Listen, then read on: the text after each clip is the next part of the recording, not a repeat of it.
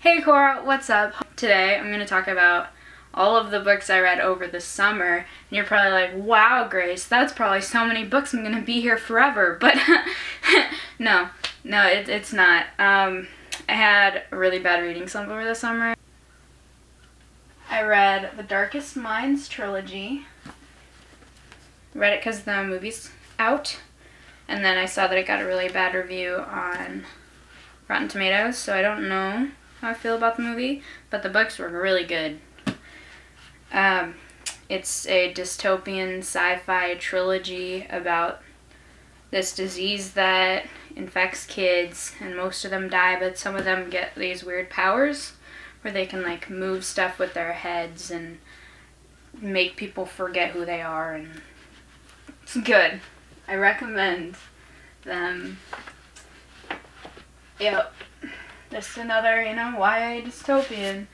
This book was so good. It's probably my favorite book I read over the summer in the short list that I have. Um, it's Landline by Rainbow Rowell. Rainbow Rowell is my favorite author of all time.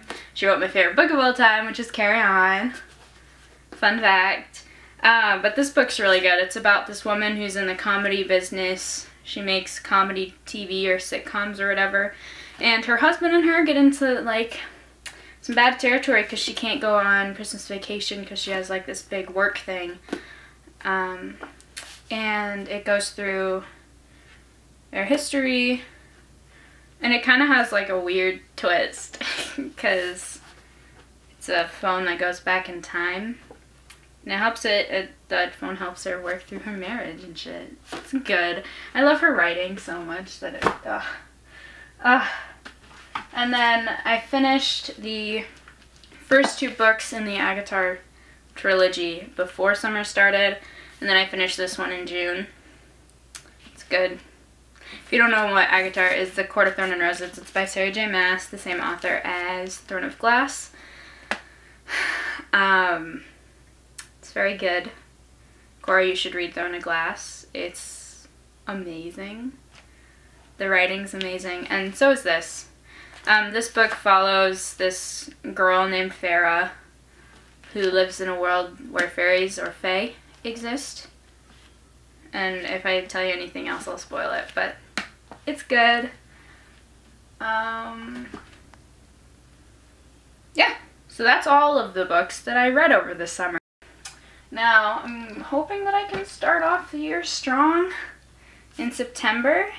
We'll see. It's kind of weird because September's so close, but this is my September TBR or to be read list, right?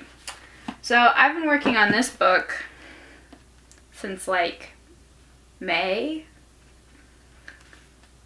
My friends are probably, uh, my friends are like on book 8 and 9 in this series and I haven't even gotten to like the middle of the book of the first book it's really bad. the book isn't really bad. My reading habits are really bad right now. But it's the first book in the Wheel of Time series, which is a 14 book book series. It follows these guys who travel around the world or go on an adventure. And I'm not far enough in to tell you much more. But uh, it's good. It's in a fantasy world, so that makes everything okay. And look at, he's riding a horse. So. Anyway, I'm working on it. I might not finish it in September, but I'm working on it and I will continue to work on it in September. And I, the book that I need to finish in September is this one. Um, this is Neither Wolf Nor Dog. It's a book that my boyfriend is lending me and I've been reading it for a long time and I really need to get it back to him. So that'll be my main project right now. Neither Wolf Nor Dog, because I forgot to mention this, is about this um, uh, author who is a white man who wants to write a book um, based off of a Native American elder's story. Okay, and then the last one, I'm reading the first book in the Red Rising trilogy. I like it a lot. It's about people on Mars, so of course I like it. In the future, I'm going to make a whole video nerding out about terraforming. Remember that time in your car, Korra? It's coming.